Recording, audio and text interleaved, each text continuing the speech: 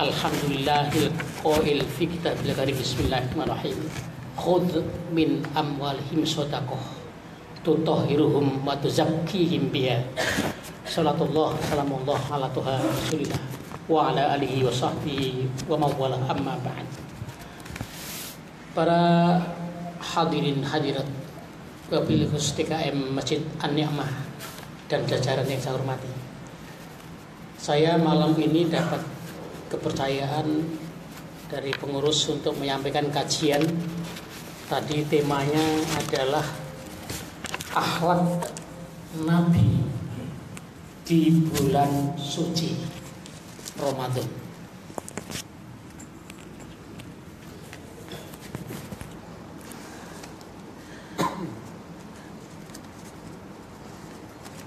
Jumlahnya cukup banyak Tapi karena waktu 20 menit Insya Allah akan saya jabarkan tiga Yang menyangkut dengan pengumuman pengurus tadi. Jamaah rahimakumullah Tujuh kebiasaan yang dikerjakan oleh Nabi Khususnya di bulan suci Ramadan. Apa? Yang pertama Membayar zakat dan memperbanyak sodakoh. Pas sudah dilaksanakan. Tinggal pengejauhan tahannya. Saya tadi tanya sama Pak Hidayat saya pikir saya ke sini udah pangkling masjidnya. Tahu-tahu kok masih gini-gini aja. Jamaah sudah wah hebat. Masjidnya kok masih gini-gini aja. Saya pernah ngomong begini di Majestic Masjid Al Ihsan. Saya bilang bahwa rumah yang mewah, masjidnya kok kayak kandang doro. Pendek ditambahi lagi melebar lebar kayak kura-kura. Itu biasanya nggak berkah. Dulu-dulu ngomong gitu saya, alhamdulillah pengurus tersinggung. Langsung digerakkan sekarang hebat saya ngomong mudah-mudahan pengurus tersinggung. Tahun depan saya ke sini udah pangling gitu ini harapan. Kegiatan sudah hebat, kesasial sudah, keagamaan sudah, semuanya sudah. Nabi pertama membayar zakat dan memperbanyak sodakoh. Yang kedua memperbanyak membaca Al-Quran. Sudah taklimnya apa saja sudah lengkap yang ketiga, memperbanyak berdoa dan zikir kepada Allah di bulan suci Ramadan. Beliau seperti itu. Maka kalau kita sampai hanya ngikuti beliau istighfar minimal sehari sehari seratus kali kok berat? Itu keterlaluan. Istighfar seratus kali sehari. Dosa kita nggak hitungan dosanya. Apalagi yang masih aktif kalau udah pensiun agak kurang. Saya yang keempat memperbanyak membaca kalimat toyibah dan istighfar. La ilaha illallah. Dan astaghfirullah. Di bulan Ramadan oleh Nabi kita Muhammad Shallallahu Alaihi Wasallam yang sudah maksum, sudah karuan diampuni, karuan surga nyata-nyata masih istighfar minimal 100 kali sehari. Dan yang kelima i'tikaf di masjid 10 hari terakhir Ramadan. Sudah dimungkan oleh pengurus. Udah lengkap sudah lengkap. Kemudian yang keenam mengerjakan amalan fardu secara optimal. Dan yang ketujuh mengerjakan amalan itu akhlak memperbanyak sodako di situ 80 yatim piatu perlunya berapa Pak Kiai Pak Kiai datang sekarang ngadep sholat berjamaah zuhur dengan saya di kantor pulang bawa duit belum rasanya ini jadi nggak ada kalimat kalau sudah niat bangun terleleran tuh nggak ada, mesti kesampaian. Apalagi lingkungan kayak gini.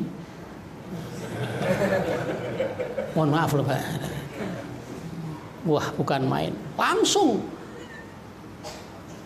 Bukan hanya beliau, Cina. Cina kenal saya. Islam. Pak Yai katanya bangun proyek untuk yayasan. Betul. Saya boleh bantu wos dengan senang hati. Saya melihat proyeknya boleh. Hamin satu Ramadan tahun kemarin, katakanlah puasanya itu Sabtu, dia datang Jumat ke proyek.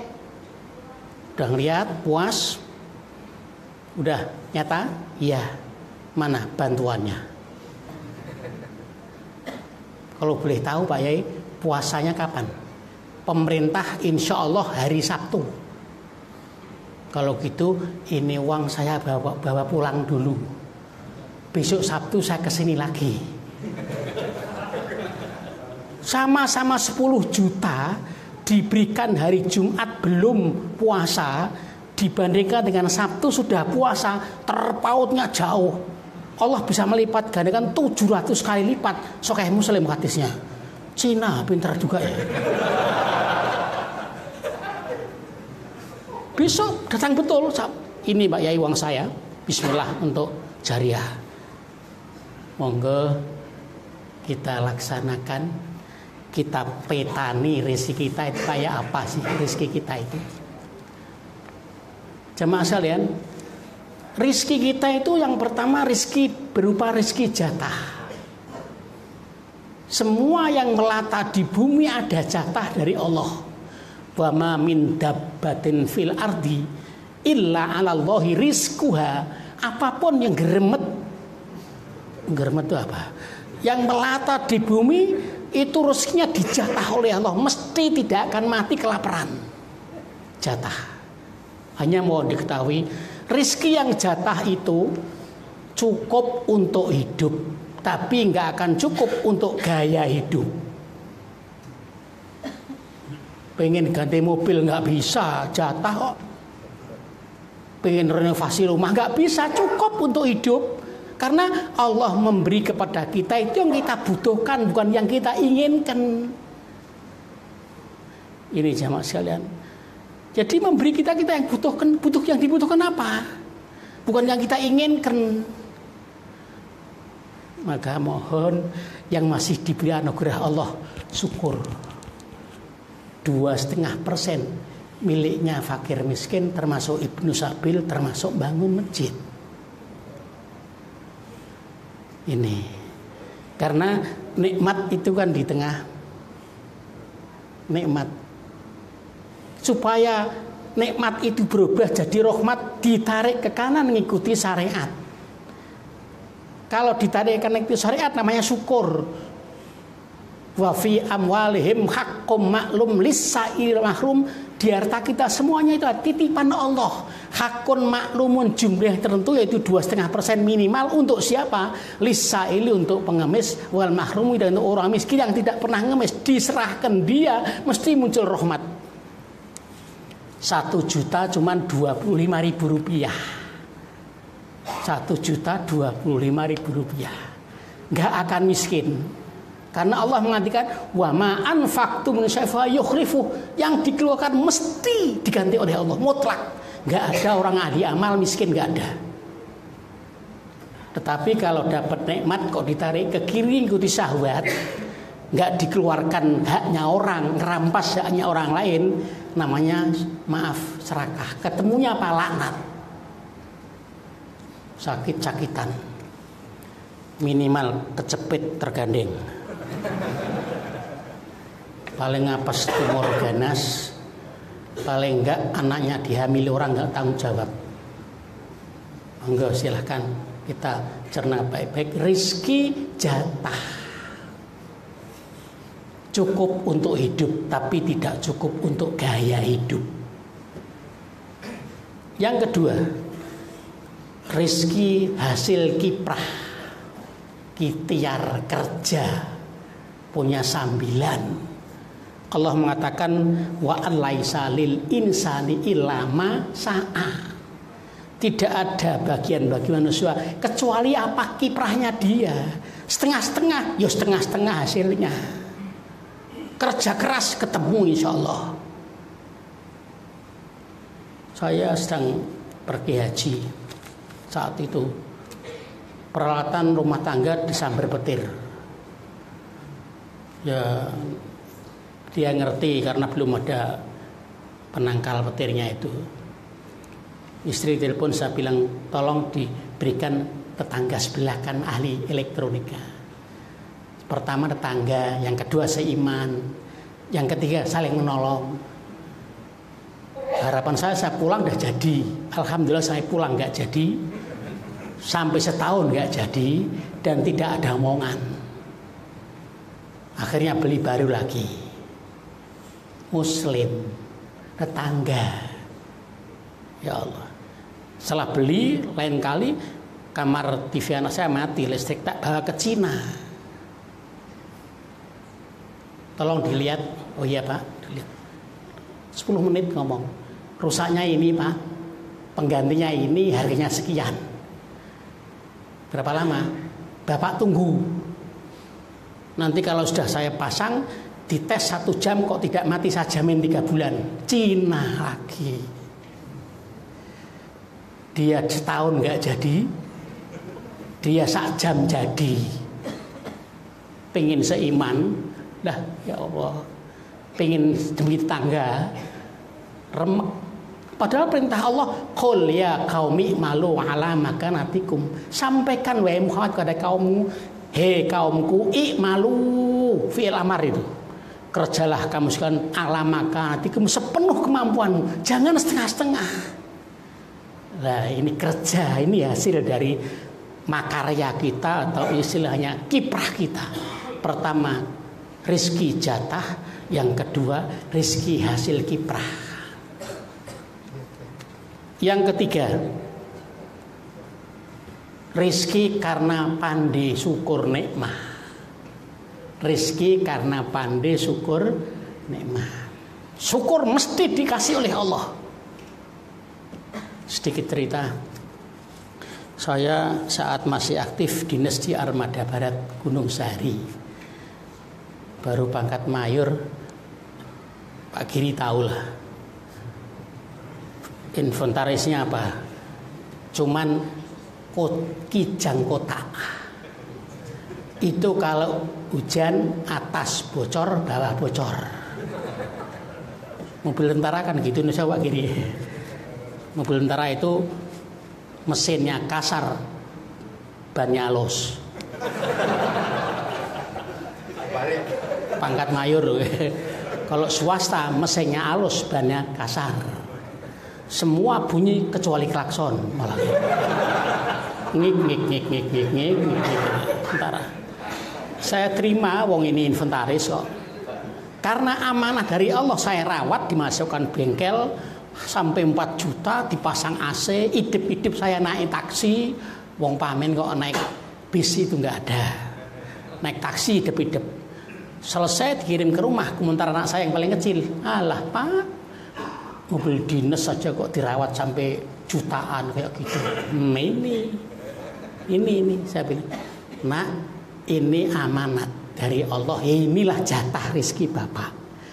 Ide-ide bapak naik taksi biar nggak gobios terus, nggak panas, dipasang AC biar bapak awet tua. Nggak awet muda, terlanjur tua kok. Biar awet tua. Diem dia, oke. Okay kalau Allah, kalau kita sudah ngerawat amanah, insya Allah Allah nggak sari, diganti oleh Allah. Karena kelamaan saya di sana di Armabar 6 tahun, berangkat gelap pulang sudah gelap, ketemu tawuran, demo tiap hari. Saya minta sama Allah, ya Allah, berikanlah aku tempat baru yang dekat rumah meskipun nggak punya jabatan ya Allah. Didengar oleh Allah langsung malah pindah ke Cilangkap dapat job kolonel langsung mobil baru bukan plastik Avanza itu hebat dulu wah diparkir anak pulang sekolah kaget pak kok ganti mobil? Ya ini dari dinas. Iya punya dinas. Iya diserahkan untuk diamankan ke bapak. Apa ini pak? Gantinya dari Allah karena bapak ngerawat amanat Allah. Dan ini mengerti kamu. Alhasil ya Allah jadi oleh karena itu kalau pandi syukur nikmat rizki ada. Kalau ngeluh terus cepet tua nggak ada papanya. Non sewu jamaah sekalian, la in syakartum la azidannakum wa la in kafartum inna adabi lasyadid. Yang keempat, rizki berkah. Ulangi, rizki anugerah. Jadi rizki jatah, rizki syukur dengan nikmat, nikmah, kemudian rizki kiprah, yang keempat rizki anugerah di luar perhitungan. Di dalam Al-Quran Allah mengatakan wa mayyat takillah siapa yang takwa kepada Allah sebaik-baik takwa yaj'al. Mesti Allah menjadikan lahu untuknya mahroja jalan keluar terbaik. Apa pun masalahnya. Wa dan Allah memberi rizki padanya. Min haitsu la dari mana pun yang tidak diketahui ujung asalnya. Pokoknya rizki datang. Mesti ketemu. Saya ngalami diperintah oleh pimpinan tolong carikan PNS yang namanya Yanti. Diutuk dicari di kompok ketemu. Ternyata orang armada barat tolong siapkan untuk saya hajikan akan dihajikan oleh kepala staf orangnya saya panggil tanya kamu pernah melayani Bu Kasal enggak kamu kenal Bu Kasal tidak Suamimu pernah nyopiri kasal? Tidak. Pernah jadi pembantunya kasal? Tidak. Nangis malah. Saya punya salah apa, Pak? Kok sampai diinterogasi begini punya salah apa? Belum saya belum ngomong mau diajikan belum ngomong saya. Rahasiakan. Begitu saya proses sudah ada surat SPMA panggilan masuk asrama haji tak tunjukkan langsung nangis sujud dia. Ya Allah, begini. Itu min haitsu layah tasib di luar dugaan. Oleh karena itu, mengikuti jejak Nabi akhlak yang pertama di bulan Ramadan. Tadi Pak Idiat bilang belum tentu umur kita sampai Ramadan yang akan datang. Apalagi yang udah sakit-sakitan. Pensiunan lagi ya lah itu mepet ini dah. Maaf. ya tidak selalu, nggak selalu ya. ya. Maksud saya kan pensiun, saya nggak terasa udah 11 tahun pak pensiun. Itu ingat mati pak. Jadi duit yang kita infakkan, kita jariahkan inilah hakikat uang kita, hakikat. Sisanya milik orang lain yang kita tumpuk itu. Karena kalau kita mati langsung pindah tangan kalau yang kita amalkan sampai akhirat. Ini, maka mohon hendaknya ya amal yang pantas. Ada yang kota amal sampai suaranya kenceng kelotak. Saya lihat masih muda belum pensiunan amalnya kelotak di sini. Mungkin ya pengurusnya kurang bijak. Mestinya kota amalnya itu dikasih busa lah biar nggak bunyi gitu. Allahu Akbar. Oleh karena itu, maaf, rizki hanya bisa dinikmati, tidak bisa dimiliki. Mati ditinggal. Memiliki belum tentu bisa menikmati. Duitnya banyak, ketangkep KPK. Dan yang akan menikmati tidak selalu harus memiliki. Itu rezeki. Saya udah merasakan sehari bisa ganti mobil mewah dua kali. Mobilnya orang yang jemput tanpa bayar pajak tanpa kemarin diundang Mabes TNI karena untuk mendampingi presiden ceramah di depan 5.000 7.000 anggota di Mabes TNI jemput pakai Volvo terakhir dikawal forwarder. Dia lupa kalau dulunya tukang ngarit. Wah pinggir semua. Apa saya harus memiliki nggak perlu toh bisa menikmati malamnya diundang di Pomdam Jaya Guntur CPM jemput pakai baby Ben CE 500 yang jemput Kapten Fadli. Mewah banget masuk gang saya. Lucu ke terlalu mewah mobilnya. Dikawal lagi. Tanya ke mana kayak siap jemput Pak Kiai. Kok mewah banget mobilmu? Siap. Mobilnya komandanmu ya? Siap. Bukan. Mobil siapa? Siap mobil rampasan Pak. Wow jemput Kiai kok mobil rampasan kamu itu habis yang paling pantas jemput Bapak cuma ini. Nah ya Allah. Semua saya alami jemaah. Semua saya alami. Monggo yang masih di aro Rizki Bismillah ditasarupkan apalagi sekali lagi yang sudah sepuh-sepuh jangan sampai nanti di akhiratnya berat di dunianya anak rebutan waris. Monggo hati-hati. Rezeki itu seperti itu yang masih bisa mengatakan makan di mana makan dengan apa mari mikir yang makan apa. Supaya mereka nanti malam tidak keluar bawa celurit makan siapa. Kalau udah kena itu naudzubillah. Kesimpulan rizki yang harus kita bersihkan. Empat keran yaitu pertama rizki jatah. Yang kedua rizki kiprah yang ketiga rizki pandi syukur nikmah dan yang empat adalah rizki min haitsu tasib yang tidak terduga atau rezeki anugerah.